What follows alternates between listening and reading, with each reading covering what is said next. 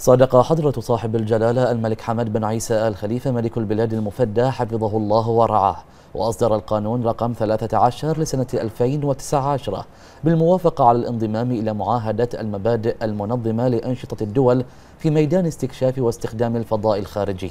بما في ذلك القمر والأجرام السماوية الأخرى وجاء في المادة الأولى وفق على الانضمام إلى معاهدة المبادئ المنظمة لأنشطة الدول في ميدان استكشاف واستخدام الفضاء الخارجي. بما في ذلك القمر والأجرام السماوية الأخرى التي اعتمدتها الجمعية العامة للأمم المتحدة.